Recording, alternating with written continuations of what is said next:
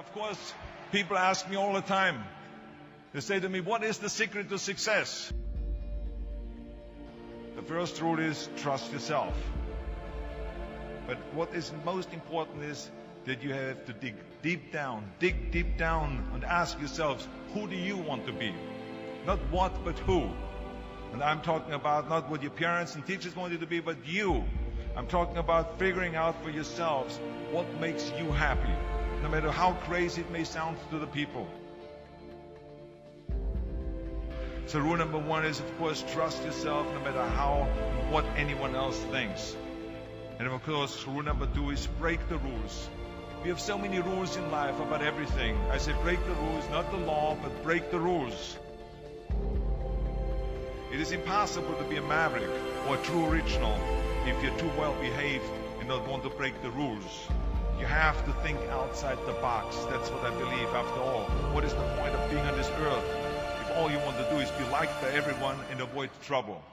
The only way that I ever got any place was by breaking some of the rules. Which of course brings me to rule number three don't be afraid to fail.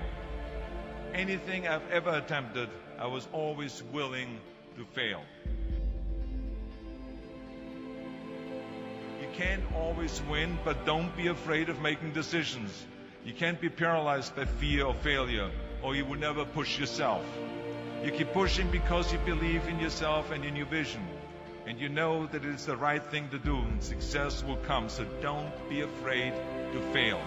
Which brings me to rule number four, which is don't listen to the naysayers.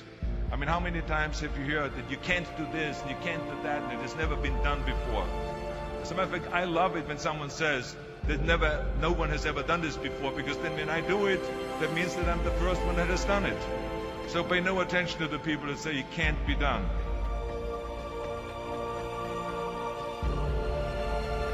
I always listen to myself and said, yes, you can. And that brings me to rule number five, which is the most important rule of all. Of all. Work your butt off. Now, I've always believed leaving no stone unturned. Muhammad Ali, one of my great heroes, had a great line in the 70s when he was asked, how many sit-ups do you do? He said, I don't count my sit-ups. I only start counting when it starts hurting. When I feel pain, that's when I start counting because that's when it really counts.